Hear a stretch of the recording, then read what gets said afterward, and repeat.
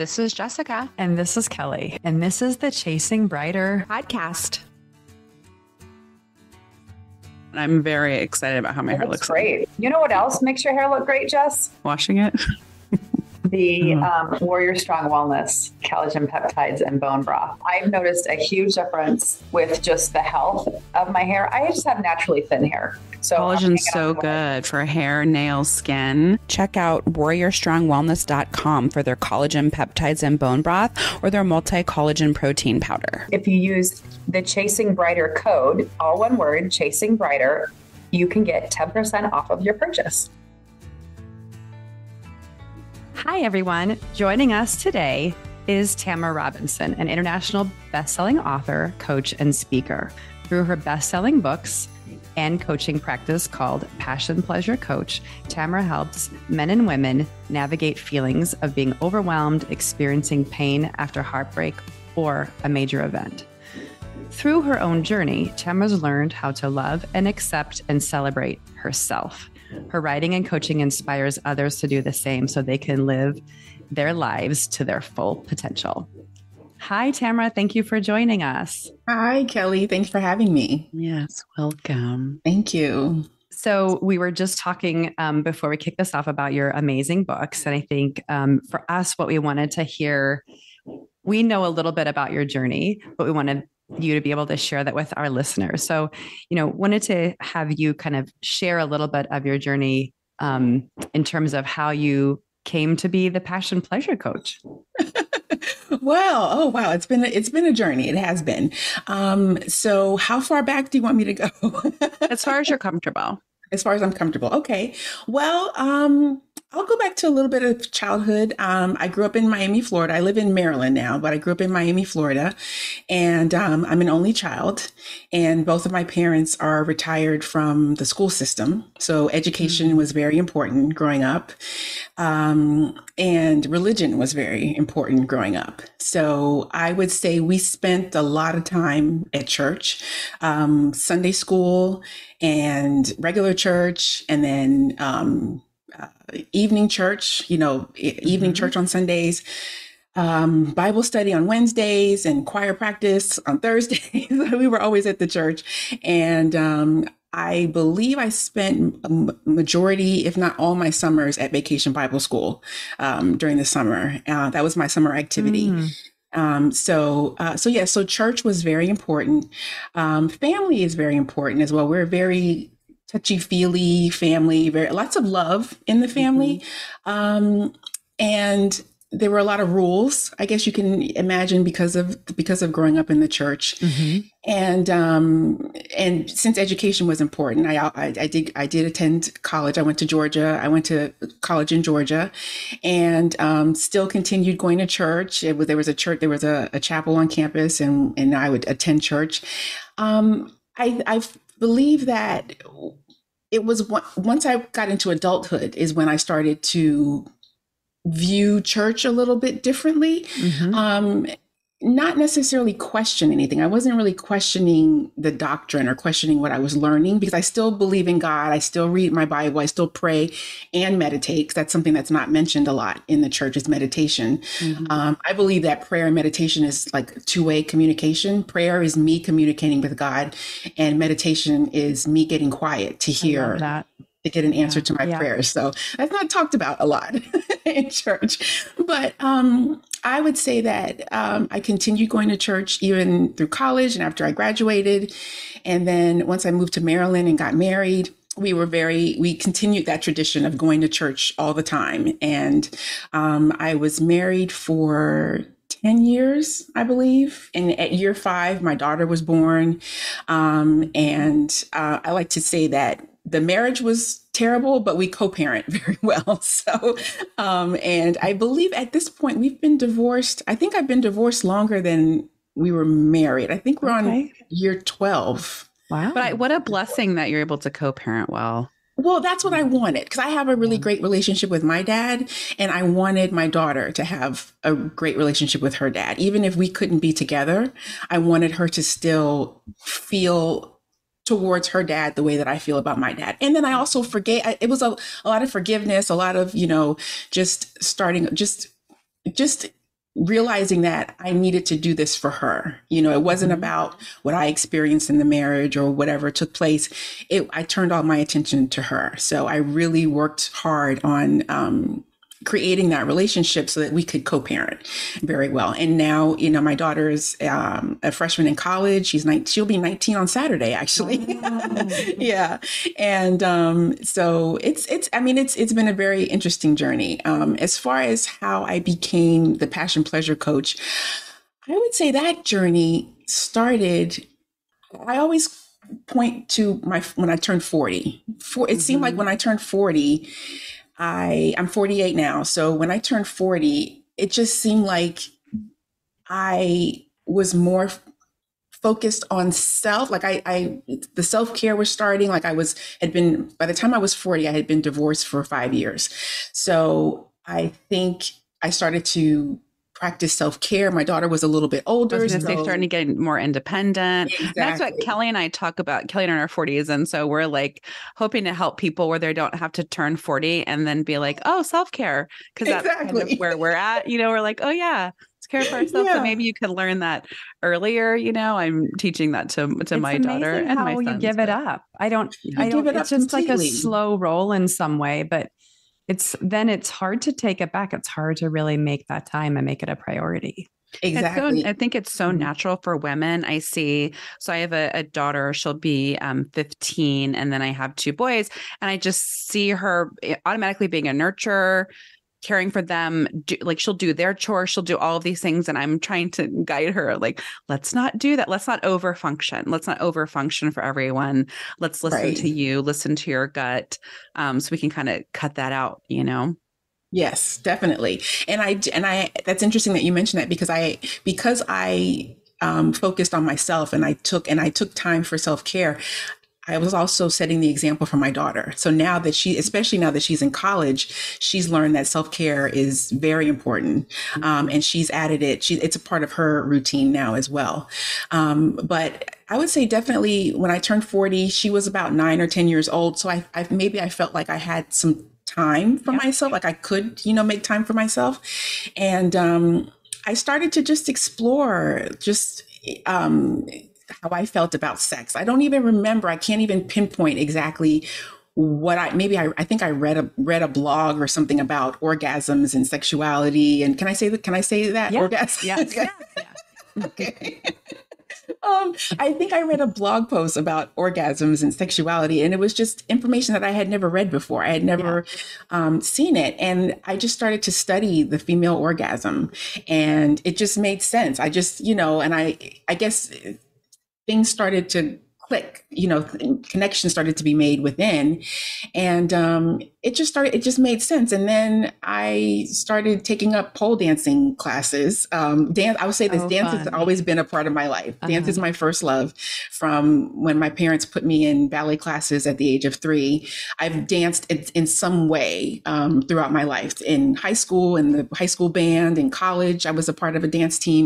I've even done liturgical um, praise dancing in church um, and then I decided I was going to take pole dancing classes. It's a natural And it a progression. yeah, it's a natural progression. And there was, I, I will say this, there was a time when I was, um, I was leading a dance ministry uh, at church, and then after church, I'd go to my pole That's dancing awesome. class because that was my exercise at the time. That was my Yeah, form of exercise. So, um, but yeah, it, it's all it's like it all came together. Studying orgasms and then pole dancing, and the pole dancing was for fitness. It was a women's Mhm. like It was a thing or- for a while. I remember Yeah, it's- having it's it in Chicago. They were like popping up.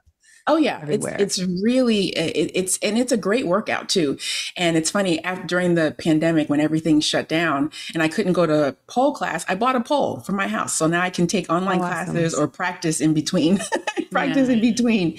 Um, and so I guess what took me from there to becoming the passion pleasure coach is the journey that I took myself on. I wanted to then help other people and initially my coaching was for moms was basically for women like me at the time were moms who were learning how to make time for themselves. And it eventually evolved into sex and intimacy coaching once i got um, took a certification course um, to become a sex love and relationship coach. I realized that it's almost like once I took that course and once I started to really start coaching um, in the sex and intim- intimacy space, I felt like I found my people. Like this is where I'm supposed to be. I think I was mm-hmm. playing it safe with coaching moms like oh mm, we, we can mm-hmm. talk about love a little bit we can sprinkle a little bit but we're talking yeah. about self-care but it's like once i started to focus on sex and intimacy it just made sense to me and it just clicked like everything like things that happen for me it just clicks and when it when it clicks it just feels good so so tell us about like so you know hearing your journey and then kind of jumping to that right like you felt drawn to that what when you look back even like in your 20s um maybe it was before or during your marriage or whatever but like what are the things that you feel like you know now you know that you've learned that you didn't maybe because I think part of our journey is understanding ourselves and taking that time. I think that's part of self care, right? Is really spending time with yourself. Like, what do you discover that you really didn't, maybe weren't able to attend to? Um, that it's okay to talk about sex because um, even now with my like with my daughter, um, she knows what I what I do, and I started doing this while she was in high school. So she know well, I started coaching when she was in middle school, but then it, it eventually evolved into sex and intimacy coaching when she was in high school, and it allowed me to talk more openly with her than mm-hmm. than I was because sex wasn't talked about when I was growing up. Um, I we barely I mean we did talk about my menstrual cycle. I I like my mom talked about it. She told me what was going to happen, but I didn't I don't think I felt like I could really ask her questions. So Yeah, I mean we we feel the same way and I I went through sex therapy myself in terms of really understanding and being okay with pleasure because I we grew up very Catholic and um in I always say we grew up in the Bible Belt. So we grew up in Kansas, um, southern Kansas. It's very religious. It doesn't matter what, like you were talking about, right? It doesn't matter like what religion you were necessarily. Everybody went to church. Everybody did all the things that church did. They did the church sports and the youth groups and all the things, right? Right. But um, there was like shame to me. I felt like I grew up with shame associated with sex, or like you don't talk about it. People are married. There's like this secret I guess you talk about it when you're married and you have to wait till you're married and there's nothing in between when you're till that, right? And then right. all about it doing it to like make babies, right? Exactly. The concept of it being part of just your own sexual health and your own well-being. I didn't I didn't know that right until I was that memo. yeah. Mm-hmm. Yeah, same here. I didn't know that you could have sex for pleasure. I thought sex was just for procreation, just for having making babies. That's that's what I grew up right. believing, and it's unfortunate. I I don't really know how you can incorporate sex into the church. I'm kind of I'm trying to figure that out. I'm going to work on that. yeah. yeah. um, but there has to be a way because you have to be it, there is there's a lot of pleasure that you can have when it comes to sex and intimacy and you you need to have that. And that's another thing that i learned is that i can have pleasure that the that the the act of sex is not just for my partner or my husband at the time. Um, it's not just for him. It's for me as well. I need to be pleasure i need to have i need to experience pleasure and i need to know what brings me pleasure. And i believe that that's why when we when we talk about sex and intimacy, it's not just with another person. It's yes. feeling intimate and feeling that pleasure within yourself. Yeah, I, mean, think that's first... a very American experience too. Yes. I think pleasure for women are the the non-existence of pleasure for women and in in the hookup culture of mm-hmm. young women and girls not having orgasms, not knowing what their vagina looks like, not knowing anything and then just, you know, um having sex to get over with. Yes. Just for him. I'm, I'm doing yeah. it for him. I'm doing it for mm-hmm. my partner. Exactly. Oh, and yeah, you mentioned knowing what their vagina looks like. Yeah, I did. I had never, I had never looked at. you mm-hmm. have to. I believe that every woman should put a mirror down there and just see what it looks like. Like that's, you know, I that's just my advice. Yeah. Yeah. Well, I have one of my best friends is uh well, she's not anymore, but she was a labor and delivery nurse and she went to nursing school and she had to go through the gynecological. She's still your rotation. best friend. She's just not. She's still my best friend. No, yeah, she's not. She works in a plastic surgeon's office now. She's way off. She but she worked for years and years in a labor okay. and delivery. And um anyway, so she had to do the gynecological, like the pelvic exams and standing there when she was a student. And I remember her telling me, like, oh my gosh, like everyone is different colors and looks different. And there are dots and polka dot. I was like, what? There are dots. You know, she was like, yeah. yeah, like everyone looks so different and it's crazy. And I just remember, you know, how, how would I know what? Right. You see the picture from like? the sex ed book or whatever? And you just assume everyone's looks. It reminds me like of that fried green right. tomatoes. Have you both seen fried green tomatoes? And they gave them a mirror, and that's what they were supposed to do uh-huh. um, was to explore themselves. And um, everyone thought that was kind of crazy. But yeah, I mean, I but I I think it is it, it's interesting. Obviously, we weren't raised that way, but it would make sense. Like how are you engaging in physical sexual intimacy with another person and mm-hmm. not knowing yourself right i mean you're going to look in your mouth and look at your hands look at your feet you know you're going to you're looking all over yourself and you're not going to know what you look like but you're you know engaging in sexual intimacy Exactly. Yeah, it's very important to know your body. Um, like even with my daughter, going back to her and, and, teaching her about her menstrual cycle, the first thing I told her was to take a mirror and look. Like you need to know what's happening in your body, and that's why I my advice, if if you're comfortable, if women are comfortable, is to is to do that. That's a very intimate part of our lives, and I know for myself growing up, I, it was almost like I was taught to ignore that part of my body. Mm-hmm. Like even during the menstrual cycle, or you know, whether it, I guess I was taught as a child or when I was growing up, you're going to have your menstrual cycle once a month. You need to clean yourself, and that's it. Like there was nothing, there was no. I was not taught to feel connected to to either my breast or my vagina. Like i was just not taught to feel connected to those areas. And i believe that's part of the awakening that took place when i was 40 there was something i don't and i, I it's it's so funny i can't i'm not able to pinpoint the A exact moment, moment, the specific mm-hmm. moment. I believe it was just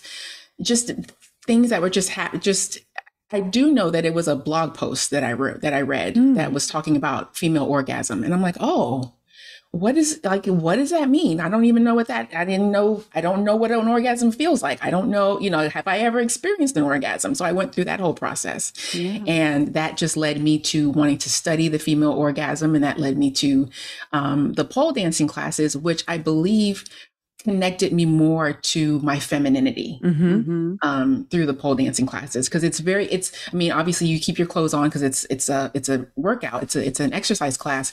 But um, you do things like caressing your body, touching your skin, and and you know, like sensual. Yes, it's mm-hmm. sensual and sexy. Yeah, mm-hmm.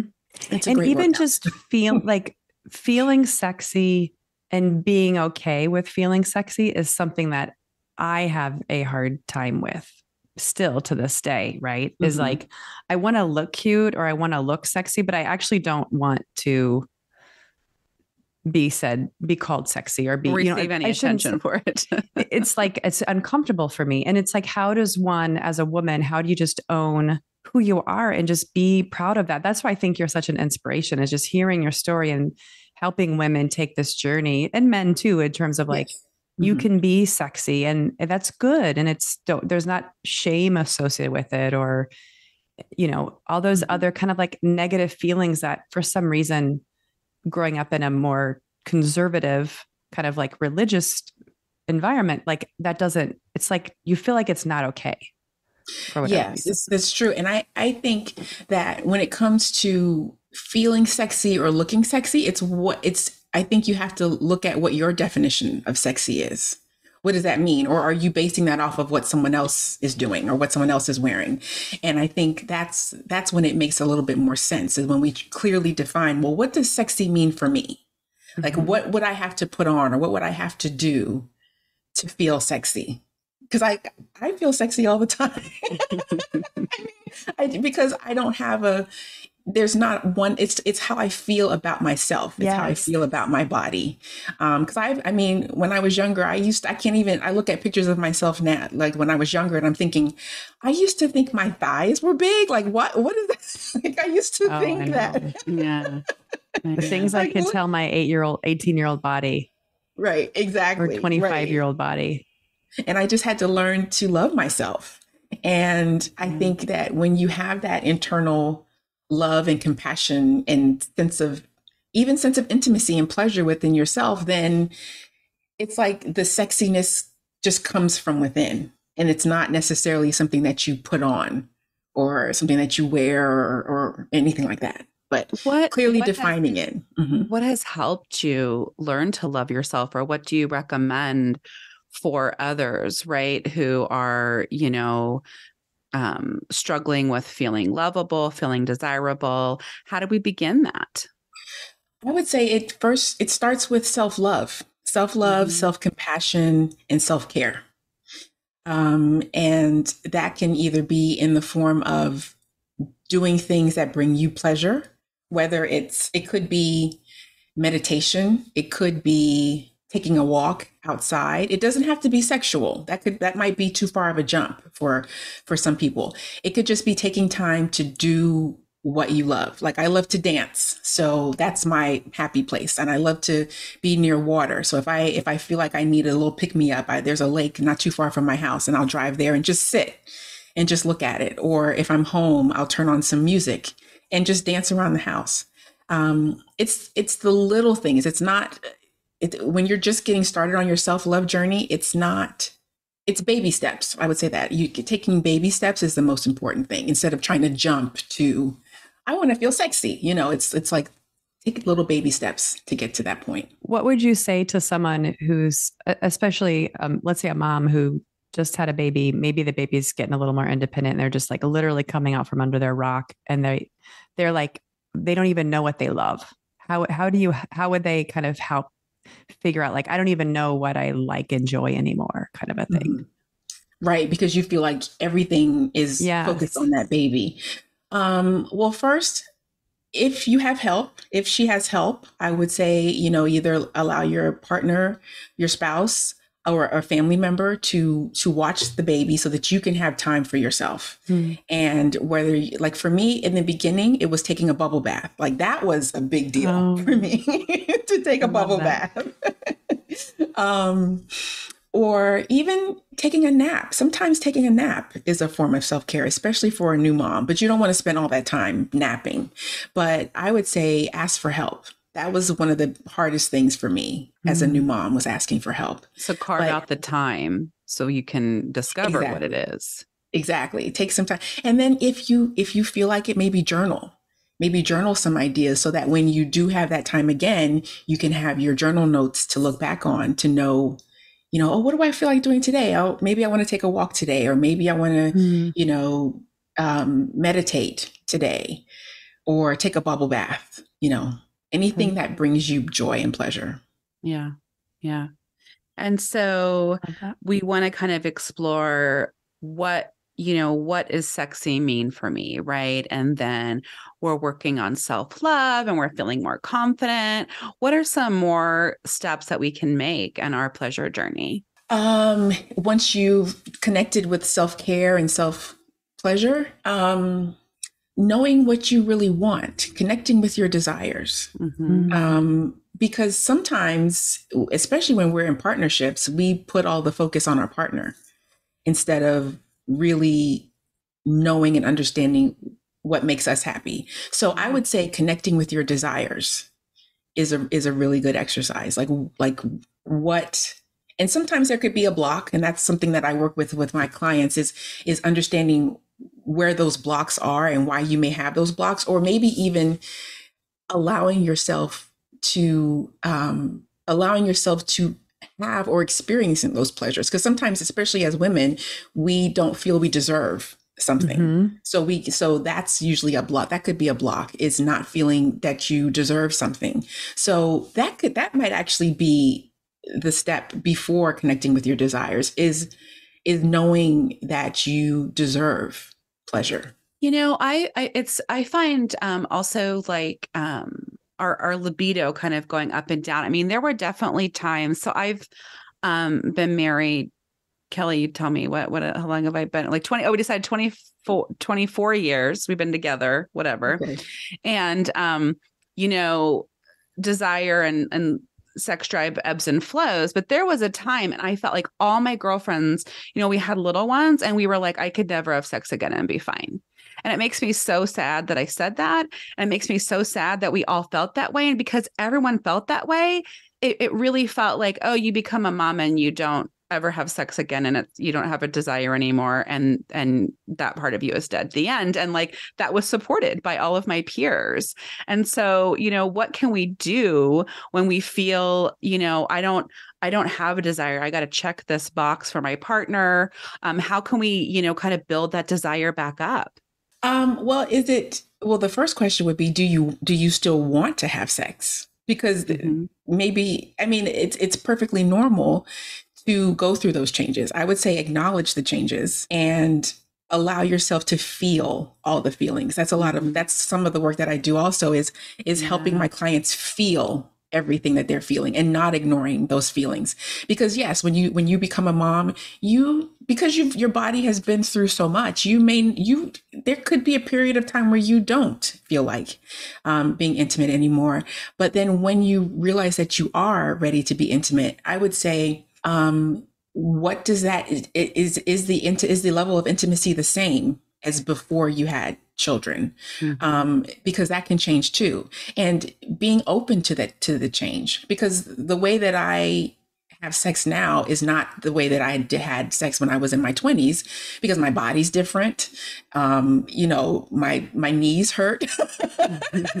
so body's hurt and body parts hurt. You know, and I'm okay with that because I just adjust. I make adjustments um, based on you know whatever it is that I'm doing. But I've learned to not to not be hard on myself because we are all going through changes. Like I know that pretty soon in a couple years I'll be going through menopause. I don't think I've started yet, but I know that brings its own level of of changes. But I would I would connect to who you are right now yeah. instead of trying to connect to the level, the type or the right. level of sex you had before children, because that's going to be, that will be different, especially right. if your children are younger. Stop that comparison game. And I would say for exactly. me, and I know sometimes I, I know people are like so tired of self care and self compassion, you know, that's not the key to everything. But when I look back, I really think it was like one more thing that wanted something from my body. You know, I breastfed my mm-hmm. children. And so I, because I chose to do that, they had to be with me kind of, or around me or close to me, or I had to be near them a lot.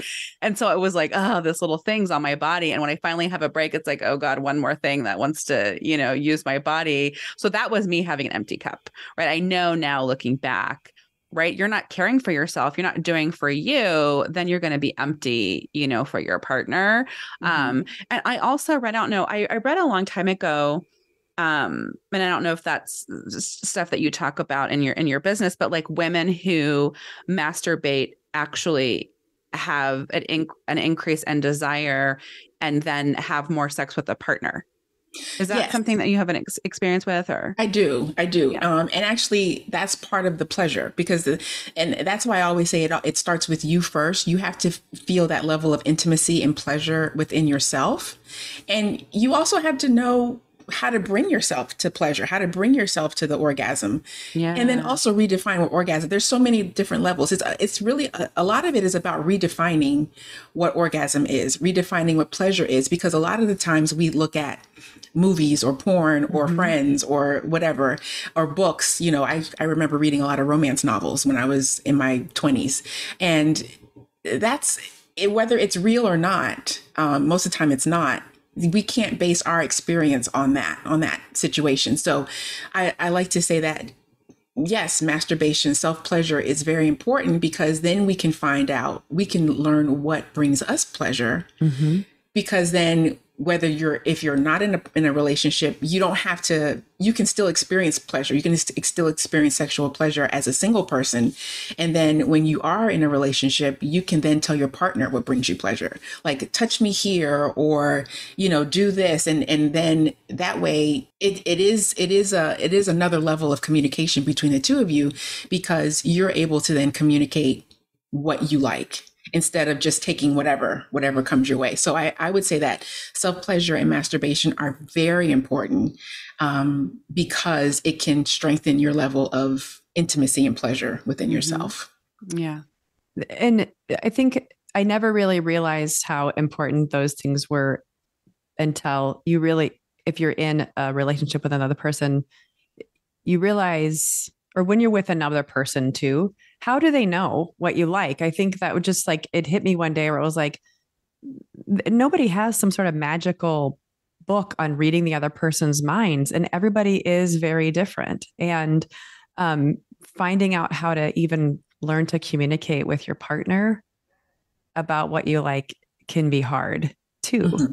Um, what advice do you have for for people with that with regard to even sharing like what you like or don't like how do they kind of get up the courage if they're a little more timid of that um I would well at first I wouldn't necessarily have that conversation during sex. I wouldn't I wouldn't do it then because um, that can kind of break the mood. But okay. you know maybe after you know after dinner or when you're just having quiet time after the children are asleep or they're in a different room.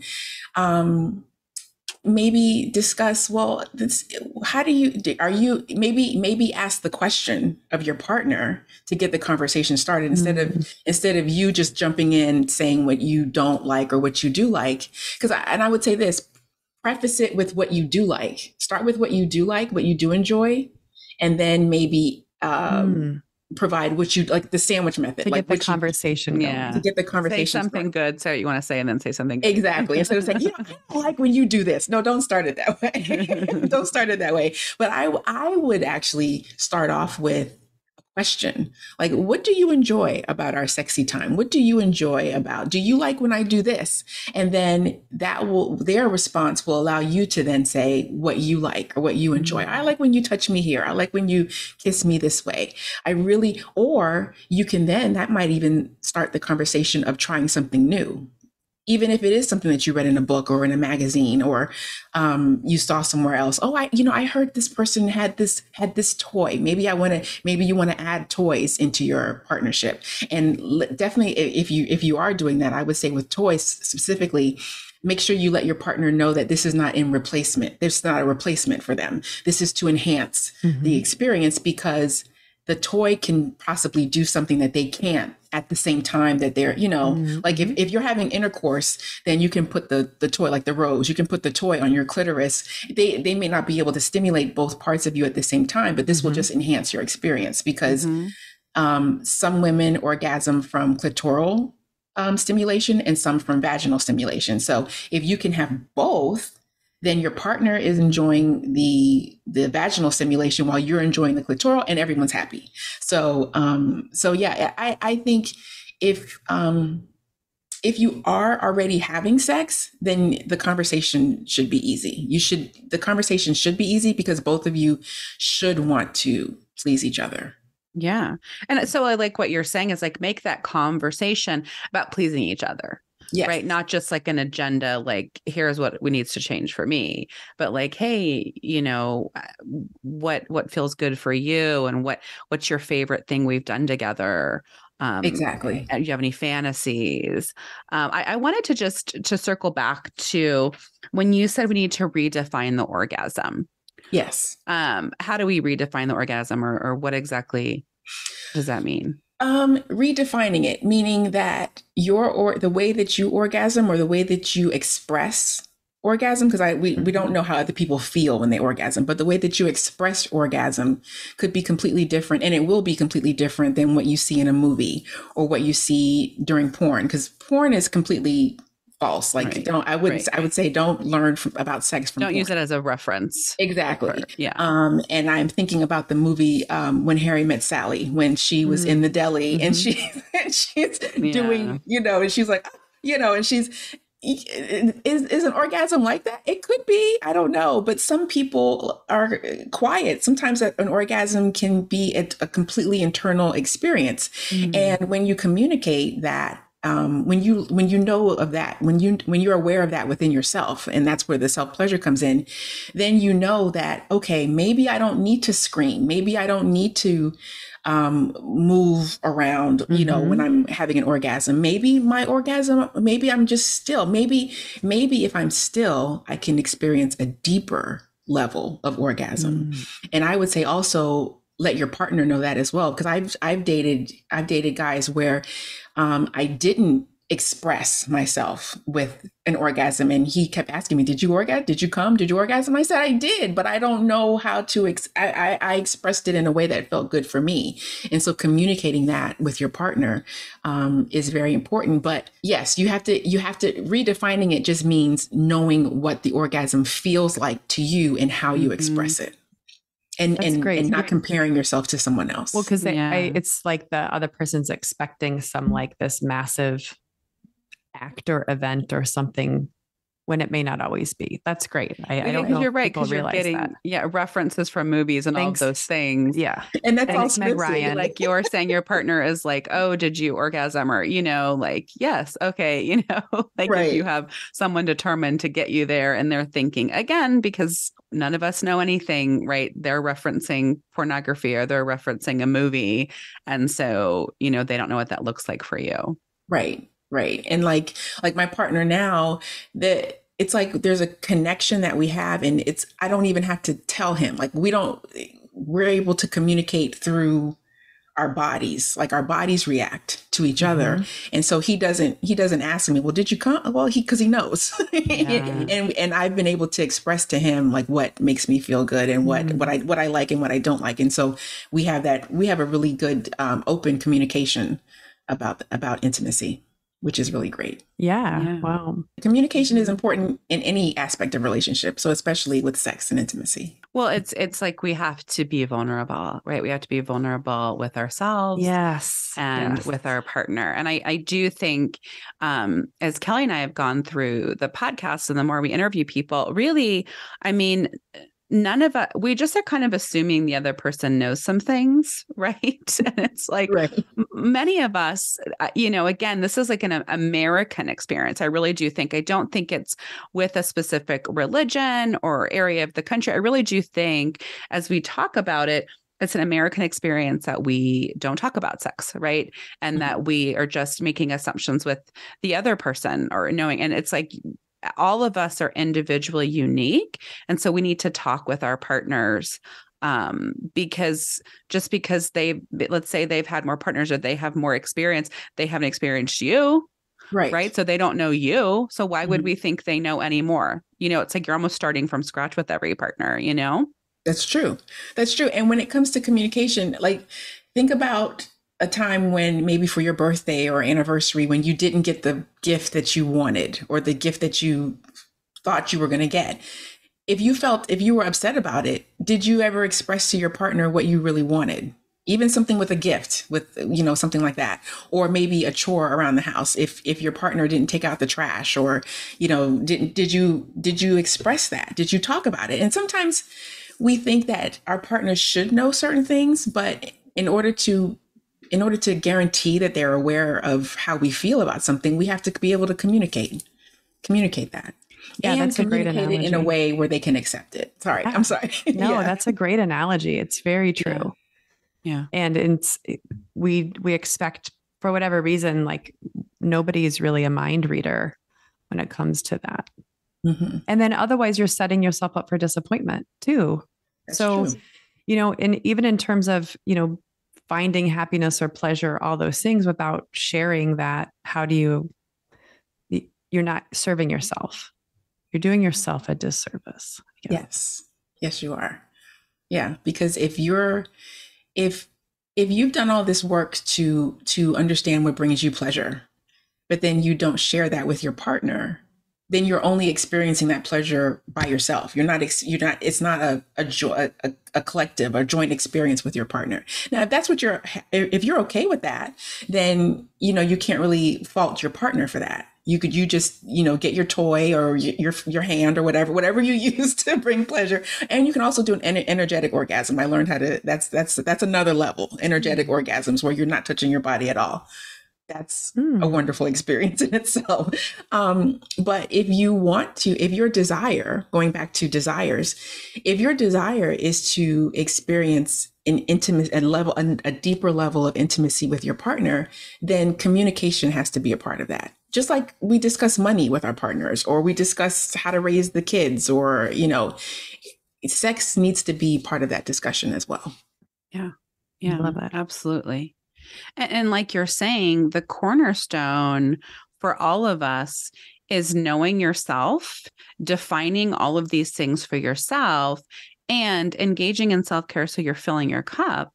Um, so so then you know you have the energy to um, care for yourself, and if you're in a relationship, care for your partner as well. Exactly. Yeah. It all starts with self. The work that I do with my clients, um, if, if they come to me wanting, I want to have a better orgasm with my partner, or I want to have whatever, usually they come to me with a request that involves another, the other person, but majority of my work is with themselves, is internal. Um, and it's, and it's interesting. There's, there have been times where halfway through the, the, the coaching process, their desire changes a little bit because once they connect with themselves, they realize that the desire they initially came to me with was based on that other person. But then we get we, we talk about the desire and talk about deserving that desire. That's another mm-hmm. level. Um, then their their desire or their end goal might change a little bit yeah. because now they're now they're completely focused on what they want. Right. And then I walk them and then I help them through the steps of, well, now that you're here, let's talk about how you can share this with your partner. Because sometimes that can be a little scary. Yeah. Is once you once your desire changes, um, you know, you have to learn how to share that, share that new desire with your yeah. partner. Yeah. Mm-hmm. And yeah. um do you just work with individuals or are there times where you end up working with a couple? I do work with couples, but I, I like to have separate sessions with couples, mm-hmm. um, and then have and then come together. But um, yeah. but but yes, when I do work with a couple, I I don't like all the sessions to be together. Yeah, yeah. Mm-hmm. And if someone wants to work with you, what's the best way to connect with you? The best way to connect, connect with me um, is on Instagram. I'm Passion yeah. Pleasure Coach on Instagram, or you can go to my website, passionpleasurecoach.com. It has been such a pleasure to meet you and have you on today. Um, I'm I'm so excited uh, for you to to come and share your knowledge with us. Yeah, and and like Thanks I said, um, you know, uh, your book "Live and Love Out Loud" is so great. Yes. Um, and right now it's it's just a Kindle electronic version right now. Yes, right now. Book? Yes. Yeah, mm-hmm. that's awesome. And then I really want to check out some of your other books too. Um, like I said, you have a poem um, in your book, and so it makes me want to read your I book of that. poetry. Yes. So I'm super excited to to look at some more of the stuff that you've created. Oh, thank you, thank you so much. Yeah, yes, I love to write. So that's my other for passion. joining us. thank yeah. you for having me. Thanks for listening and joining us today. And don't forget to follow us on social media at Chasing Brighter or on our blog, chasingbrighter.com.